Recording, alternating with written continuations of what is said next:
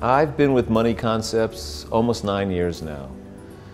Prior to that, uh, this, is, this financial industry is a second career for me. I was a career naval officer and I was uh, retired as a commander in the Navy in 1998 and then entered this industry and I went to work for Merrill Lynch and I had a lot of success there early on. Four years into it, I was the branch manager. And it was at that point in time that I saw what a big wirehouse system was like and what they were doing for clients. And I realized then that that wasn't the path I wanted to take. I was interested in being more things to more people. And I felt that the big firms just couldn't offer those services to everybody the way I wanted to, and with the freedom of independence. So that's when I actually started looking, and Money Concepts came up on my radar because of a, of a Merrill Lynch person that had left and actually joined Money Concepts two years earlier.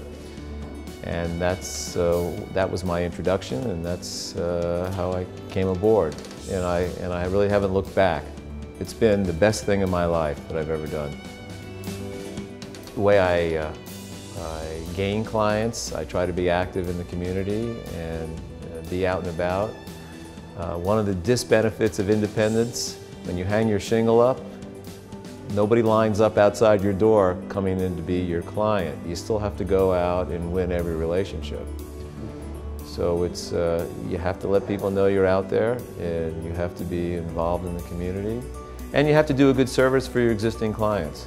So really, uh, I, I, win my clients one at a time. Uh, as far as the planning, a client doesn't have to move their money to Money Concepts, they could just hire me to be a financial advisor.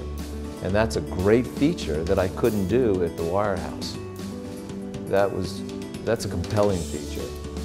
Because usually when a client will hire me to look at their assets and give a second opinion or do just plain financial planning, invariably they become my client in the full capacity. In the independent arena, it's all about the client.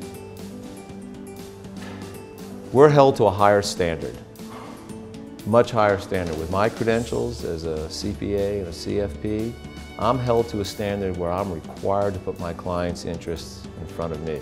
Doesn't mean I can't be successful and make a living doing what I'm doing, but still I'm required to do that. The next step is to continue to grow.